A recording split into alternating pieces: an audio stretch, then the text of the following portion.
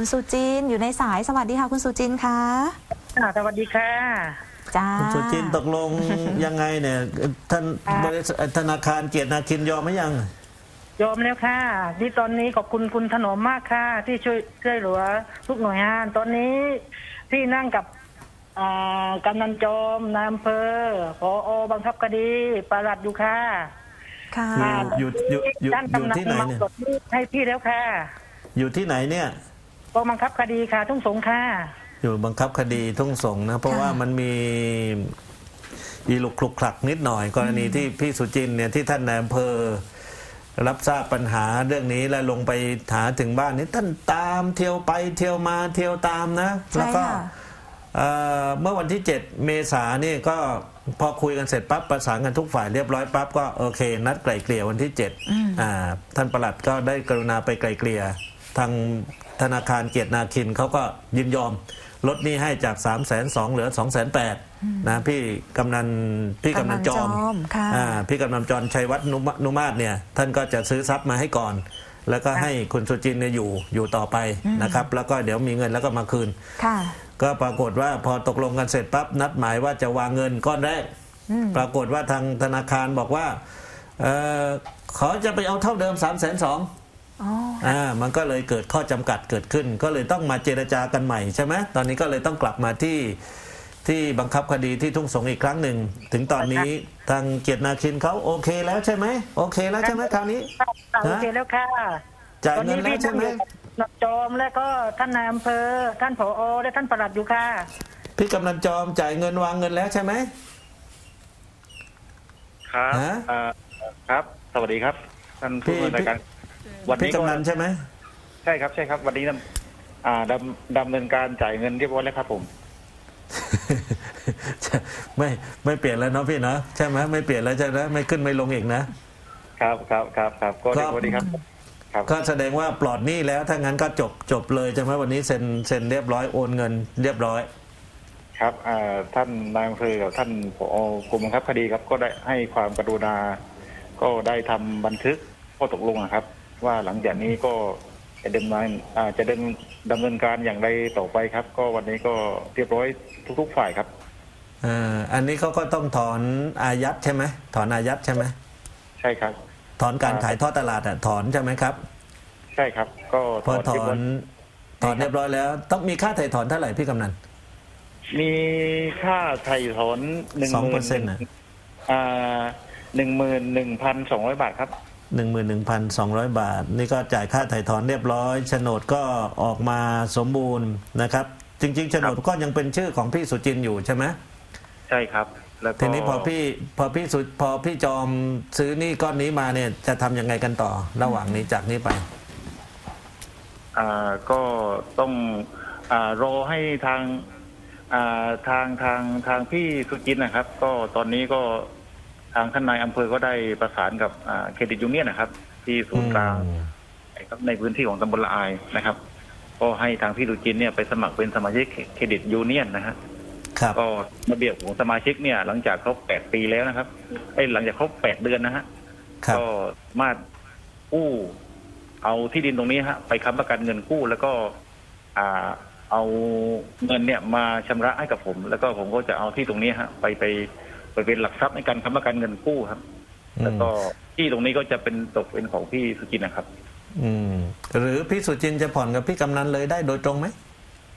อืม น่าจะไปไปไปไปเป็นผ่อนกับเครดิตครับอ่าไปครับไปเครดิตดีกว่าใช่ไหมใช่ครับใช่ครับใช่ครับโอเคโอเค อย่างน้อยเขาก็จะได้มีช่วงเวลาหายใจเนาะจะได้เข้าระบบเนอะอืมอ่าค่ะพี่ก็ช่วยซื้อไถนี้ตรงนี้ออกมาได้ก่อนนะครับมาผ่อนกับพี่สุกำนันจินต์ เดี๋ยวจะเป็นหนี้นอกระบบอีกครับ ขอบคุณค่ะมากขอบคุณพี่พี่กำนันอืมนะที่กำนันจอมได้นะคะช่วยเหลือลูกบ้านนะนะค่ะ เพราะว่า แล้วเนี่ย พี่กำนันได้เรียกลูกเขากลับมาไหมเนี่ย เออ ก็ได้ประสานไปแล้วครับ เดี๋ยวก็ยังไงก็คิดว่าน่าน่าน่าจะมาคุยกันอีกครั้งอะครับ เพราะว่ายังอืมอ่าส่วนกลางอยู่ที่เราน่าจะต้องไปตามมาอีกทีฮะรถที่น้องก็ขายไปครับอืม ค่ะเนาะอย่างน้อยก็คือพอคนที่รับซื้อมันก็รับซื้อของโจรอะนะเพราะว่ามันตามกฎหมายนะอืมเพราะว่ารถมันเป็นรถของไฟแนนซ์ยังเช่ารถซื้อไฟแนนซ์อยู่คุณเอาไปขาย คนที่คนเอาไปขายจริง ๆ ก็อันนี้ก็โอเคก็จบชำระหนี้ก็จะไม่มีคนฟ้องคุณแล้วแต่ว่าคนที่รับซื้อไปมันกลายเป็นรับซื้อของโจรนะค่ะเรียกรถมาคืนหรือคืนไม่คืนไม่รู้แหละเอาตัวกลับมาก่อนมาช่วยชำระหนี้ให้แม่เนี่ยไม่ใช่ว่าทิ้งภาระไว้ให้แม่อย่างใช่ไหมใช่ครับ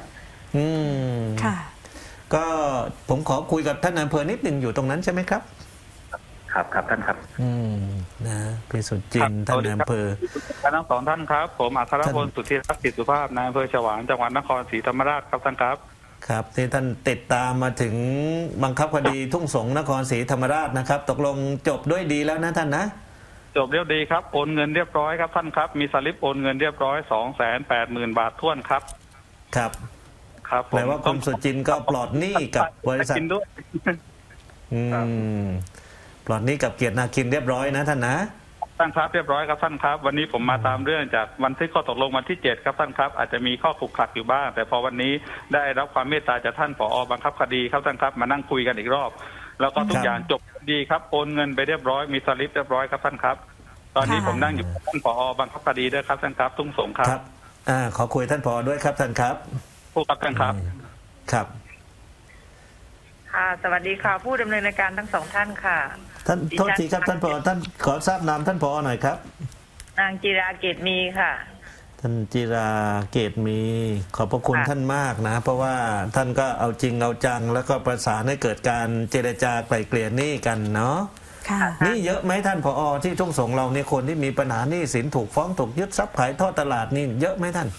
เยอะค่ะ เยอะค่ะ พันเรื่องอะค่ะ อืมพันกว่าเรื่อง โอ้ค่ะ พันกว่าเรื่องนี่ก็น่าจะหลายร้อยล้านอยู่ใช่ไหมครับท่าน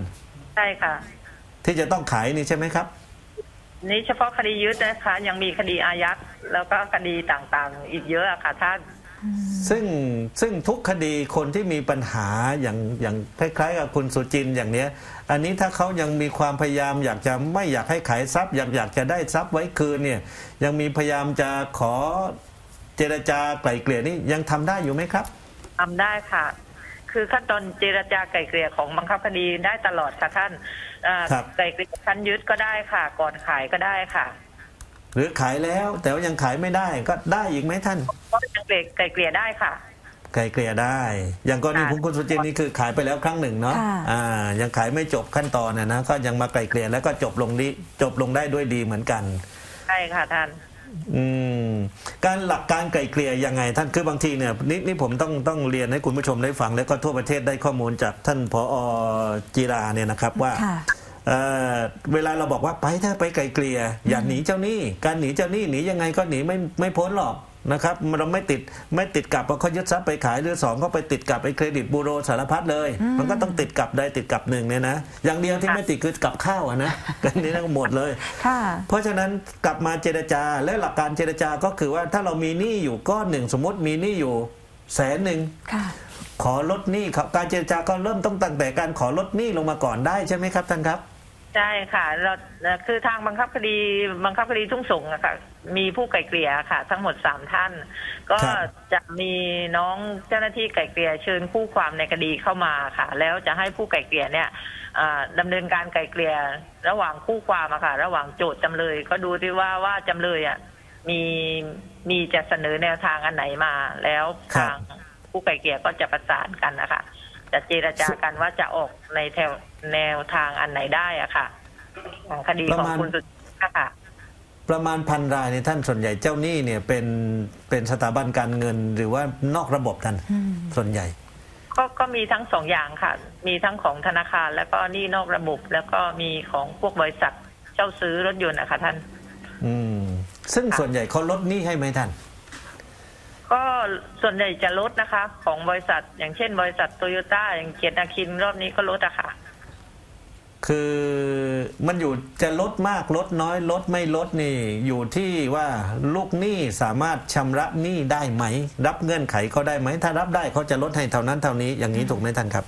ค่ะถูกค่ะท่าน แต่ว่าถ้าว่าบอกโอ้ยผมไม่มีเลยอะแต่มาขอลดหนี้ไว้ก่อนอันนี้เขายอมไหมท่านเขายอมเงื่อนไขเนาะเขาดูเจตนาการชำระหนี้ของของจำเลยอะค่ะ อืมเช่นอ่า หน้าวันไก่เกลี่ยบางบางทีทางโจทย์เสนอมาว่าก้อนแรกอาจจะให้ชำระสามสิบเปอร์เซ็นก่อน แล้วครับส่วนที่เหลือให้ผ่อนต่ออะไรแบบเนี้ยค่ะ ถ้าทางครับจำเลยรับได้ก็จะเป็นการไกลเกลี่ยที่สำเร็จลงไปตรงนั้นนะคะอ่าก็คือว่าเจรจาพอหนึ่งลดจำนวนหนี้ลงมาค่ะนะครับ พอได้ตัวเลขเสร็จปั๊บจะจ่ายทั้งก้อนหรือหรือค่อยๆทยอยจ่ายผ่อนส่งใช่ไหมครับท่านครับ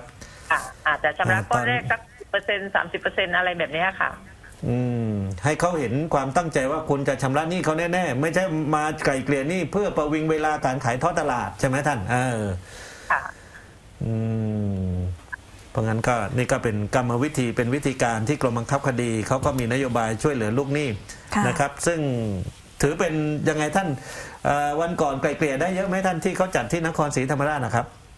ได้เยอะค่ะ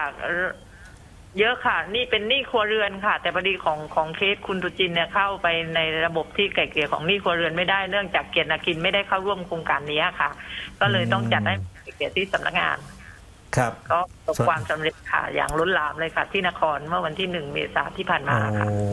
ต้องจัดบ่อยๆไหมท่านเนี่ยเขาจัดอะค่ะจัดตอนนี้จัดสี่ภาคและต่อไปก็จะจัดทุกจังหวัดอะค่ะอ๋อ ดีค่ะเข้าคือใจถ้ามีตัวช่วยคือคือรัฐเป็นตรงกลางอะนะอืมนะบังคับคดีเป็นตรงกลางให้ แล้วก็เรียกเชิญมานะทั้งสองฝ่ายมาคุยกันอย่างน้อยที่สุดเฮ้ยได้รับส่วนลดด้วย คือบางทีไปคุยกันเองเนี่ยไม่ได้ ค่ะ โดยเฉพาะของกยศอะค่ะ ถ้าจ่ายเขาก็จะลดค่าปรับลดลดอาดอกเบี้ยอะไรแบบเนี้ยค่ะท่าน ครับอืมก็จะค่ะแต่อยากให้เชิญชวนลูกหนี้ให้มาไกลเกลี่ยเยอะ ๆ ค่ะ ครับ ถ้าอย่างมีน้อย ครับ อย่างน้อยถ้ามีค่าธรรมเนียมเอ่อเวลาไกลเกลี่ยสำเร็จอะค่าธรรมเนียมถอนเนี่ยจะถูกกว่าค่าธรรมเนียมขายไปหนึ่งบาทอะค่ะ อย่างเช่นคดีถ้าอ๋อให้ธรรมเนียมเข้าหลวงอะร้อยร้อยร้อยละสามนะคะ แต่ถ้าถอนเนี่ยมันก็เหลือร้อยละสองเพราะฉะนั้นถ้าไกลเกลี่ยสำเร็จถือว่าได้ลดในส่วนค่าธรรมเนียมลงไปอีกหนึ่งบาทอะค่ะอ๋อไม่ใช่รัฐจัดโครงการนี้แล้วก็ค่ะ ให้ทางโน้นช่วยลดหนี้ให้แต่ว่าของรัฐไม่ลดเลย อันนี้เราก็ลดเหมือนกันนะจาก3เหลือ2เปอร์เซ็นต์ถอนค่ะอายัดการขายทอดตลาดเนี่ยนะนะถอนกันที่อายัดเอาไว้ อืมค่ะคิดจากอะไรท่านครับสามเปอร์เซ็นต์นี่คิดจากอะไรครับ ที่เวลาเวลาเขาเขาตั้ง ค่าธรรมเนียมค่าธรรมเนียมขายใช่ไหมคะสามเปอร์เซ็นครับจากราคาขายได้ค่ะถ้าจากถอนในราคาคิดตัดเป็นของราคายอดหนี้ตามหมายบังคับคดี หรือว่าราคาประเมินต้องเอามาเทียบกันว่าอันไหนน้อยกว่า ก็ต้องคิดจากตัวนั้นค่ะ คิดจากตัวน้อย ค่ะ คิดจากตัวน้อยร้อยละสองของ ถ้าราคาประเมิน อาจจะราคาประเมินสักล้าน แต่คิดหนี้แล้วสองแสนแบบเนี้ยก็คิดค่าธรรมเนียมถอนร้อยละสองของสองแสนค่ะท่าน อืมไม่ได้ไม่ได้ไม่ใช่ว่าไปคิดตามมูลหนี้ใช่ไหมครับถ้าถ้ามูลหนี้น้อยกว่าราคาประเมินก็คิดตามมูลหนี้ค่ะ อ๋ออ๋ออ๋อโอเค โอเค ก็คือคิดน้อยที่สุดอะว่าง่าย ค่ะค่ะๆครับ ก็ค่ะขอบคุณท่านผอ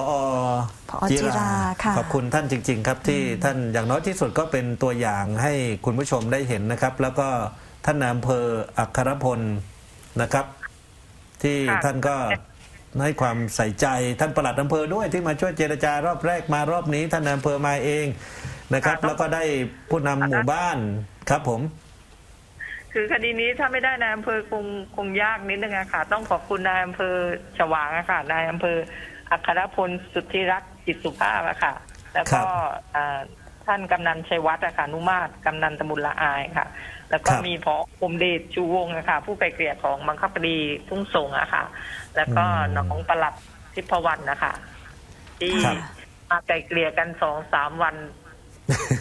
ที่สุดก็ สำเร็จไปรุ่ล่วงไปด้วยดีอะค่ะ ในสองแสนแปดแล้วก็วันนี้ก็ได้ราคาคดี ตั้งแต่ตกลงกันไม่ได้จนตกลงกันได้ ตกลงกันได้แล้วก็เอาเปลี่ยนอีกแล้วก็จนกระทั่งวันนี้เสด็จน้ำเลยนะครับลุล่วงเลยวางเงินนะคะจ่ายเงินเรียบร้อยปลอดหนี้เรียบร้อยนะครับค่ะก็ขอบคุณและนี่ต้องขอบคุณท่านผอบังคับคดีจังหวัดเพชรบุรีด้วย ท่านค่ะวีราน้ำแก้วเงิน ที่ท่านค่ะได้ประสานกับท่านท่านจีราเนาะใช่ไหมท่านได้ประสานกันนะเนาะใช่ค่ะ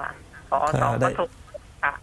ได้เห็นความตั้งใจของกรมบังคับคดี ท่านผอบังคับคดีนะครับค่ะแล้วก็ถ้าลูกหนี้ที่มีปัญหาถูกบังคับคดีขายทอดตลาดแบบนี้เนี่ยเขาสามารถเริ่มต้นได้ยังไงครับท่านผอครับ ต้องต้องมาที่บังคับคดีอะค่ะ มายื่นคำร้องขอเข้าไกลเกลี่ยค่ะ ครับ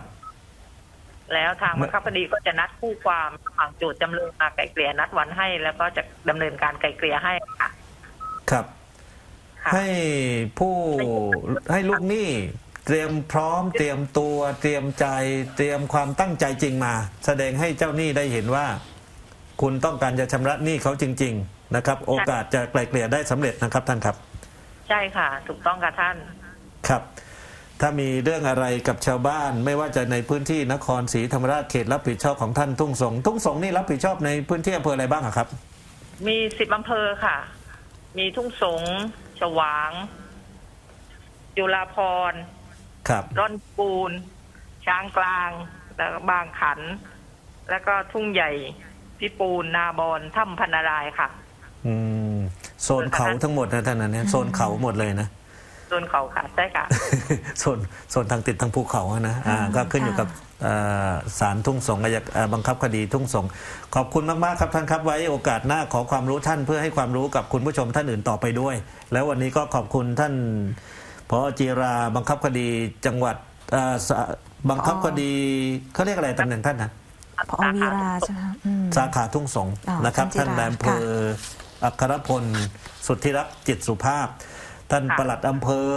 นะครับ แล้วก็ท่านกำนันนะครับ ค่ะ แล้วก็พี่ที่ทำหน้าที่ในการไกล่เกลี่ยในส่วนของบังคับคดีทุ่งสงด้วย ค่ะ ขอบพระคุณทุกท่านนะครับท่านครับ ขอบพระคุณจริงๆครับ ขอบพระคุณขอบค่ะ อีกสวัสดีครับ สวัสดีค่ะ